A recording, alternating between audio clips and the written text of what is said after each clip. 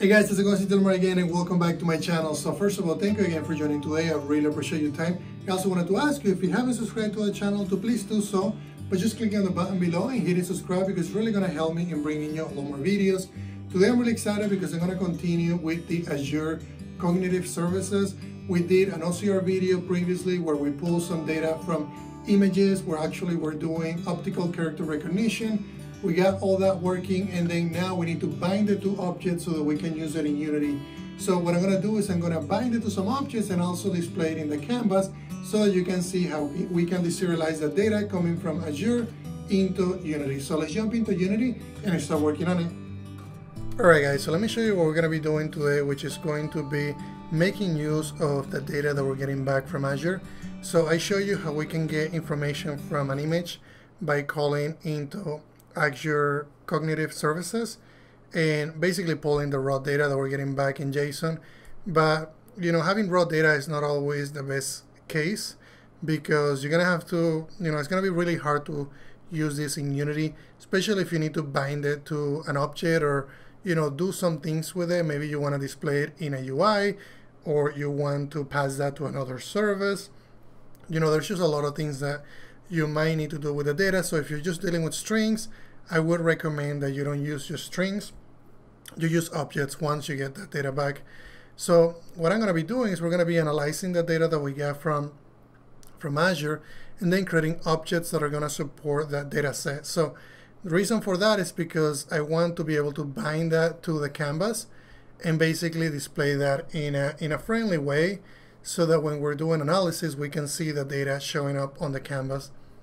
So if you remember, I created a new tab here, and, and this tab shows you the data that we're getting back from, from Azure.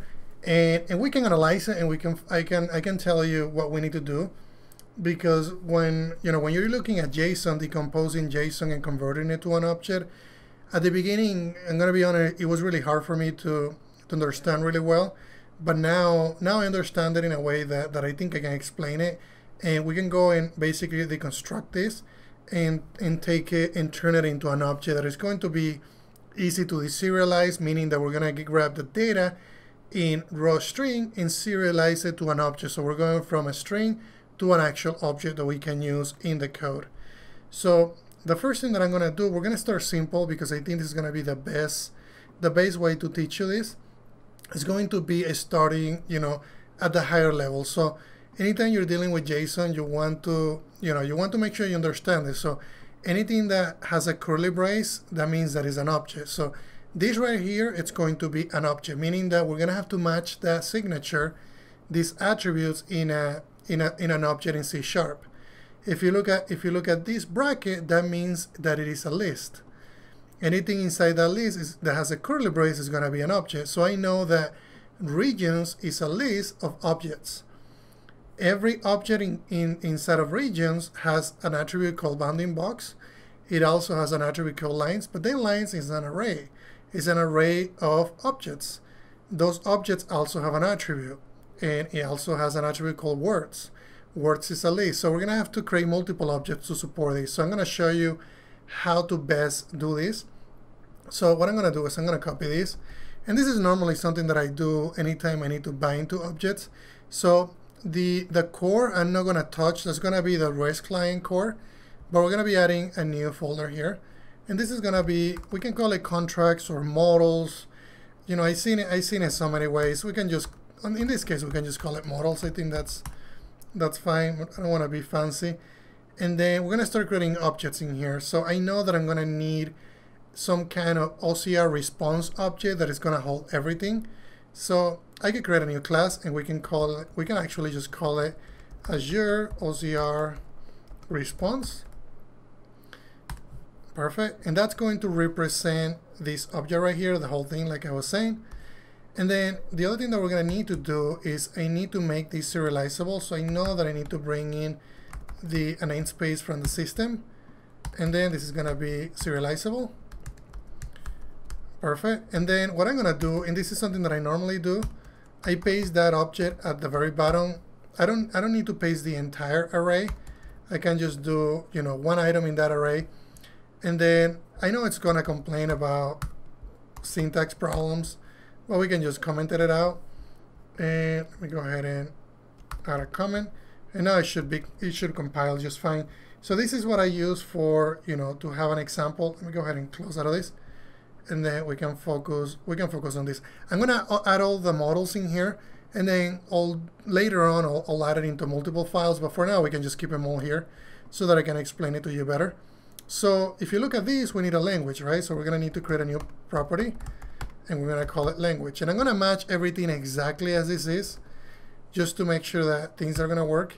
Normally I do properties when I'm, when I'm using something like Newtonsoft, but because I'm using Unity, I know that Unity is going to want to expect this the same way. So let's, I'm gonna, I'm not gonna do them all, I'm just gonna do one and then we can see if we can deserialize it. If it works, we can add more properties. Okay, and then this one is gonna be the text angle, and also look at the type. The type is very important. In this one, it's going to be a decimal, so I'm just gonna say this is a decimal type. The next one is going to be orientation, and it's a string, so I'm gonna make it a string. And I don't believe I have anything else. Let me go ahead and go back into this. I don't think there was anything else on the very bottom. Nope. Going to be the high, higher level objects. And then we're going to have a regions object, which is going to be an array of objects. So I'm not going to do those just, just yet. We're going to need it in just a minute. But let's just start with this and see where this takes us. And we can leave that in that namespace. I think that I think that's fine. Okay, so now that we have that, how can we use it? So that's going to be the next question. So now that I have this object and thinking about this, I didn't namespace anything. So let's go ahead and remove the namespace just to be consistent with everything that we have. And then I'll just, there we go. So it's no namespace. We're just going to have a class at the higher level. So it matches everything that we have everywhere else. Okay, so if we go back into our example, and if we look at if we look at the on, on request complete, we know that it's returning data. I know that it's returning a JSON, a JSON object. Sometimes it doesn't work, but for the most part, when we get a successful response, we can add some validation later, but I know like it's working right now. So we can do something as simple as, you know, if we can just validate that we didn't get an error. So we can say if error, we can say string is null or empty. So we know that we, you know, we didn't get an error and we know that we did get data. So we can say a string is null or empty. In this case, it's going to be a not because I don't want that to be null or empty. Otherwise, it didn't work. Okay, so we didn't get an error and or, or data is populated, then we're going to try to deserialize it. And this is a part that is cool because I'm going to be able to do something like, so the, if you remember, this is going to be the data that we're going to be deserializing. So if you remember up here, we had, Unity has a JSON utility to JSON. So that one is to go to JSON. We want to go from JSON to an object. So if we go here, they also have something called from JSON. And it's going to ask us to specify what the data is. So it looks like it takes a generic, which is cool because we can do something like this. Azure OCR response, response data. And then the cool thing about this is I can now use an object. This is going to be our Azure OCR response. And if everything works, we should get an object back mapped correctly with the information that we have mapped so far. So let's go ahead and test this. I'm going to remove all the other breakpoints because we don't need to go through all those breakpoints. I know that all that stuff is working just remove all those and I think we should be good. Awesome. And then I'm just going to go into my little debugger here attach it to Unity go back into Unity wait for it to load. There we go. And then we're just gonna hit play. And I want to see if the object is getting mapped. I don't need that breakpoint anymore either. And then by this point we should have already got a callback. Looks like we didn't get an error which is what we were looking for. We did get data Let's see if uh, this deserialization is working. We can see if Azure, it looks like it's working. We get the language is mapped to an object. We also had the orientation. We also had an angle. So let's go ahead and keep going. Let's go ahead and add more fields so we can see everything. Okay, so we know that this part is working. So what if we want to do regions, right? But region has a list of objects. So we're going to have to do a couple more things to this. So I'm gonna need another object. And this one is going to be regions. And this one can be called, this one can just be called regions. Let's go ahead and call it Azure OCR OCR region because it needs to be singular because when I declare it in here, it's going to be an array. So I like to I like to make it that way. I'll show you I'll show you what I mean in just a second. And then we're going to need a bounding box. So I know that's going to be a string. And then we're also going to need an array of words. So we're gonna we're gonna go come back to that. Okay, so that should cover that. And then before we keep going, we're gonna do now we can do an array. We can do an array of this type, which is going to be regions. That needs to match up that property. And then that's what I'll do. And then the next piece that we're gonna need, and why is this complaining? Expected, uh, I think I got everything correct. Bounding box, and, oh, I see. I made a mistake, I removed that curly brace. Okay, and then, so now I know that, and now I'm gonna need another object, which is going to be words, and words is gonna have an array of things that get captured. And those things that we're capturing are gonna be a list of other objects. So that's fine. Let's go ahead and do word. Let's not put anything inside just yet, and I'll show you why in just a minute. And then the last one, it's going to be the actual let me think about this because this is gonna be the actual oh you know what I think I think this is gonna work word can just be see even I, I'm getting confused and I do and I do this kind of thing all the time so we're gonna need a bounding box here and I'm also gonna need the text that we're capturing so it's gonna do text let me make sure that this is all gonna work okay now so I know that I have these I know that I have that I know that I have lines. I don't know that I cover lines just yet. I have regions, which is this. And then, oh, you know what? I think I skip over lines. Region is going to have a bounding box, and I'm also going to need lines. Let's add another object. This one is going to be line. In a line, it's going to be an array of, let's see, it's going to be an array of this object right here which is going to be a single line. So let's go ahead and add. So in there, I'm going to need. I'm going to need. Okay, I see what I, I see what I. I'm going to need a bounding box, and I'm also going to need an array of words. I'm pretty sure we're going to get it wrong, but we'll fix it. And then this is going to be words. Okay, and then words is going to be this type, which is going to have a bounding box, which is going to. I think this is going to work let me let's just go back to it again so this Azure OCR response is going to have an, uh, basically an array of regions which is going to, going to be that if we look at the region object it takes a bound it has a bounding box and it has, also has an array of lines that's the only thing that we're missing I think so far public and it's going to be lines okay and then so that should cover this piece it should cover that piece then lines are going to have a bounding box, which is this one, and it's going to have an array of words, which is going to be of this type. This type right here is going to have a bounding box. Yeah, I think we're good to go. Okay, so now that I have all that, so let me just double check. Yep, we should be good. So let's go ahead and see if this is to work, if, if the magic is going to work. So I'm gonna, and if it works, we'll, we'll start by moving some of that to the canvas. So I'm gonna hit play and oh and I didn't I didn't know how to add the debugger. It probably worked, I just didn't see it working, so let's go ahead and do it again.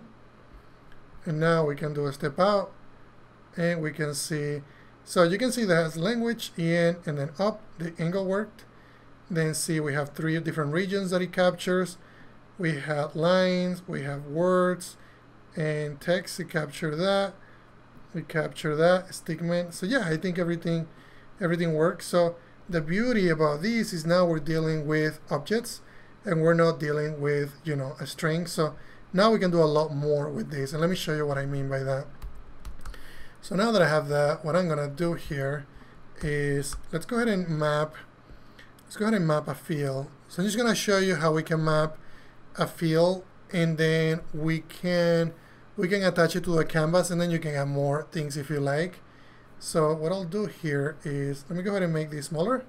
I'm gonna go into the scene view and then we're gonna go get closer. Okay, so here the first thing, and I normally do this on every video, for some reason I like to start with black on, on this. So I'm gonna make this big, basically snap it to the same size of the canvas. And I'm gonna do black on white with white text. All right, and I don't need to raycast that. And then I'm just gonna change this to stretch. Perfect. So then the next thing that I'll do, so this is basically our background, or we can just call it a console, just to be just to be fancier. And then the next thing that I'm gonna do is I've been using TextMesh Pro. I like I like it a lot, so I'm gonna use it in this project. Let's go ahead and import it. See if that works. Cannot. Oh, okay, because I'm in play mode. Okay, so everything that I did I lost because I was in play mode. It's okay. We'll do it again. And then just do wrap image. This was our console and then I did black and then I can just change this I wish there was a way to just say use you know use parent size I don't have to do there might be but uh, maybe I'm not I'm not as familiar with the UI as you guys are and okay and then the last thing that I'll do is I'll just I was already changed the stretch so I think we're good and then the next thing that I'll do is I'll do the TextMesh Pro I'm going to add a text. I'll import this. and the reason why I want to use it is because the text just looks so nice. It makes it a, lot easier to read. And it doesn't matter how small you how, how small you go, how large you go. It just always looks awesome. Okay, so I'm to show you. This is going to be. So what I'm to do is I'm to split it into two areas. The the area on the bottom is going to contain the text that we are capturing the area on the top is going to contain the basically the the bounding blocks the, this basically is going to have language text angle and orientation. So this one is going to have you know everything that we're capturing as far as like text. It's going to go very deep into the into the nested objects. Okay so this is going to be that piece. So this is going to be words capture. This is basically what's going to be the most useful information to be honest. And then we can just say words words capture, text, and then I'm going to add a header, and then our header is going to contain some of those other properties that I just show you that are more higher level. And then those ones I'm going to put, doesn't need to be actually that small. Can make, so it's going to be header. And I'm used to templating engines, so that's why I add brackets. Okay, and I think I, oh, you know what, I, I sized that incorrectly. Let's do it again. And that should work there. And let me just, let me just do that again. There we go. Okay, so that, this one needs to be down. Okay, so I'm gonna make this one about half size. Perfect. Okay, excellent. So now, now that's correct. So this one's to be words capture text. And then the one on the top is going to be basically, we can just call it header. I think that's fine. And this doesn't need to be say text. We can just say words capture. Perfect. And then I'll just move this one right here and we can make it, we can make it bigger. It's going to be our header. Excellent. Okay, so now we have two different properties. The other thing that I'm going to do, I'm going to click on edit script here. And I'm going to close out of these. Let's try one more time. Because I don't remember what the name, I always, I always do this. This is what I need. Okay, and then I'll go back into our little, little client here. And I'm going to add a couple more properties. So this is going to be the header. And I also need to bring in the basically words capture, which is also a text box. It's going to complain that it doesn't have it. That's fine. We'll bring it in.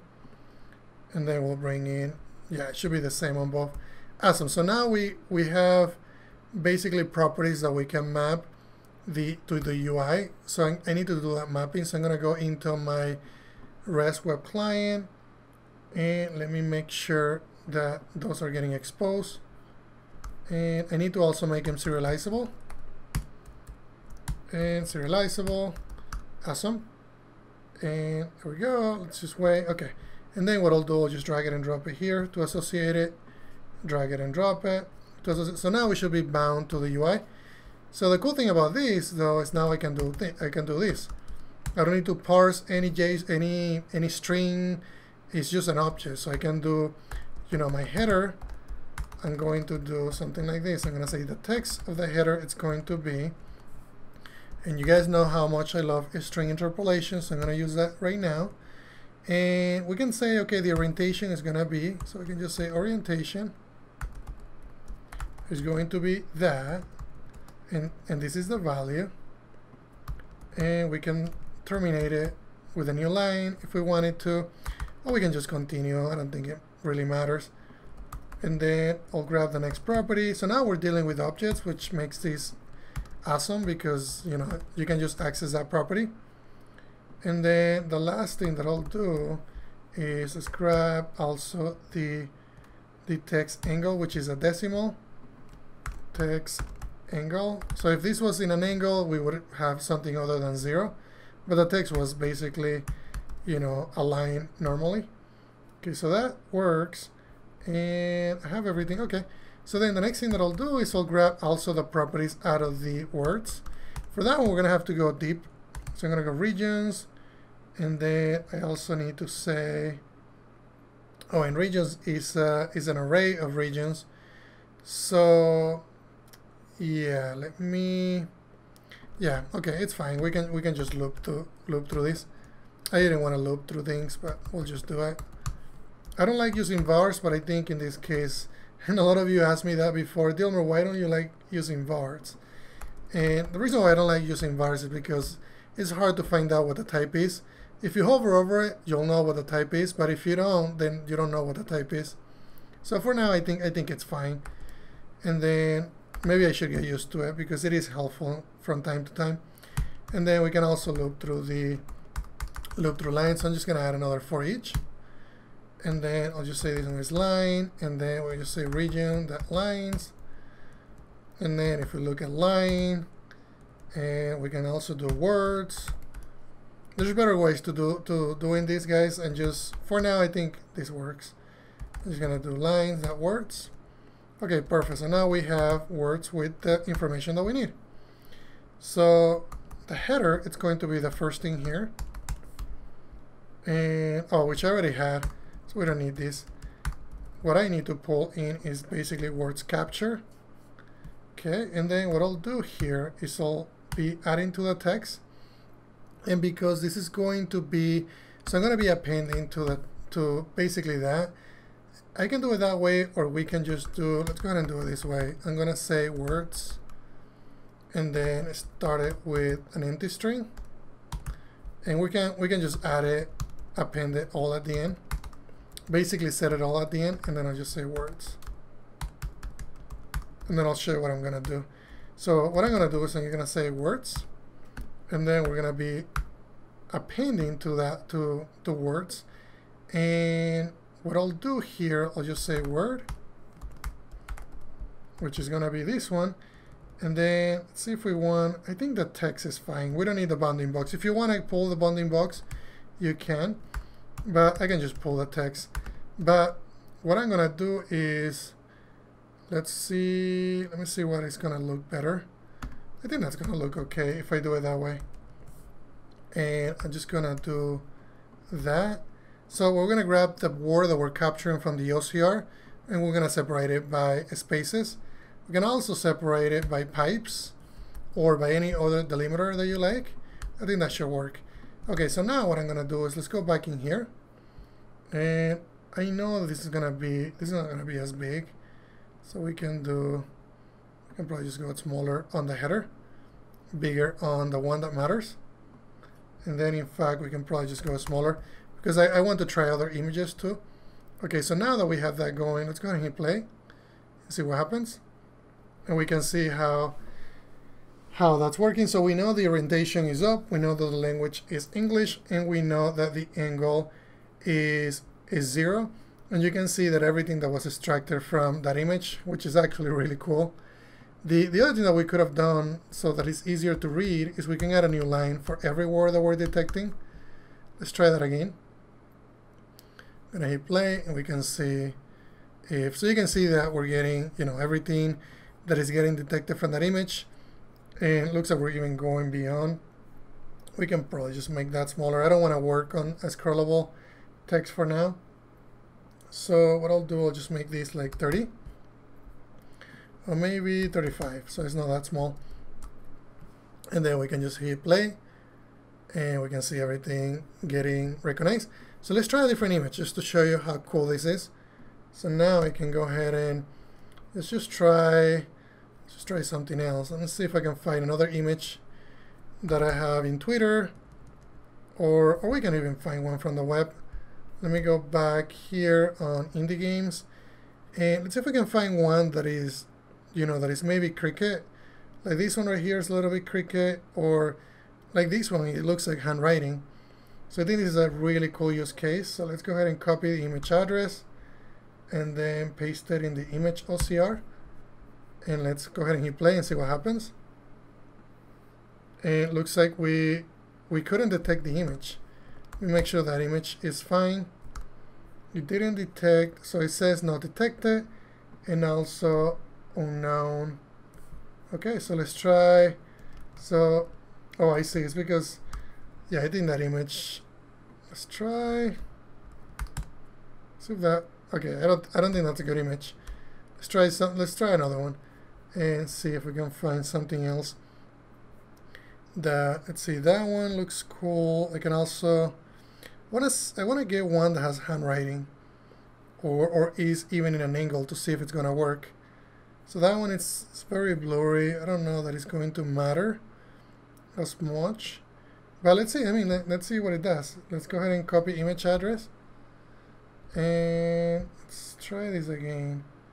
Copy image address. Yeah, I think some of these images I don't trust because they're they're just super large. Uh, sorry, the, the the path is really large. So let me see if I can find now let's just try something like this and see. If now I'll go into my Twitter and we can pull one from. Okay, so I like this. This doesn't have all that weird metadata at the end. Let's try that. I'll just paste that and then hit play. And it's okay. There we go. It just took a little more time. You you notice that it took a little more time. So it's up. It's English. It's not in an angle. And then we're pulling CG, the best off and it didn't pull the indie games for some reason it just didn't you know it's not gonna be perfect to be honest but we can see if we found it in here if we go ahead and look at the last one yeah it didn't pull it just pulled the let's see I can see the letter the word off but I don't see the the word indie games. So maybe it's not a good resolution. And let's see if we can find how about this one? It's, it's much larger. I think it's from the same site. Let's try that one. And then hit play and see what we get. And it's still getting captured and you can say subscribe blah blah blah blah new videos so it is pulling information and I'm gonna do handwriting image see if I can find Okay, let's see. I think we have a lot of handwriting in here. I just don't want to try one that is is like super difficult to. But I mean, th these are the test cases that you that you want to do. So let's try something like this. Nice blog lettering much. Okay, and see what the image URL is. Okay, I think that one should work.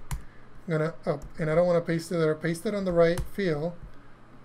And let me try that again because I was in play mode and let's see it's getting captured and it didn't work because it only captured hopefully I got that right yep it only captured MIEL which is this part right here and then EL yeah, it didn't like that font, the handwriting for some reason. Let's try one more, and I think I'm gonna call it good. I think for the most part, it should work.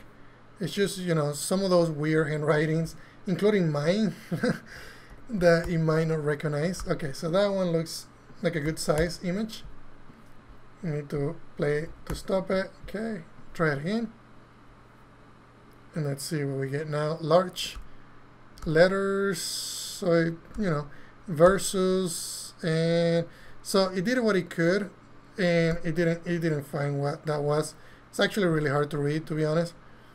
Let's do, let's do one more. Let's do one that we know that. Let's see what happens with something like this. And then I'm gonna call it good. Okay, oh, and I need to hit play again. I keep doing that. And then hit play. And it's, and then you can see the top, it didn't do secret. And let me look at the last call. So it did top and it didn't find the word secret. It's probably because yeah, I'm not sure. I think it's more testing, but I mean, if you look at, if you do one that is readable, it seems like it's working fine. So if we do something like, you know, banner text, and we search for something like that, something that is clear and, it, and it's easier to read, then, you know, in those cases, let me see if we can find, see if it finds that because that's a little, it has a little curvature. Uh, so this is going to be, you know, the test the test that you need to run. Let's try that and hit play and see so how to make and it didn't find the word banners but it found ERS in Adobe Illustrator in Adobe Illustrator how to make it did find how to make even though it's also you know in a curvature but it didn't find the word banners completely. But so yeah so it's not perfect but it works I mean it works really well. And I'm gonna say that this is everything that I wanted to show you guys and just as a kind of an overview I show you how to map the data that we're getting from Azure Optical Character Recognition Service and how we can map it to an object so that's everything that I wanted to show you guys thank you Alright guys, thank you much for watching this video. Really appreciate your time. And if you have any questions about what I just showed you, please let me know in the comments. Also be sure to check out GameDev.net because they have amazing resources for game developers and also find me in patreon.com where I'm posting information about what I'm doing behind the scenes and also early access to source code. Thank you very much guys.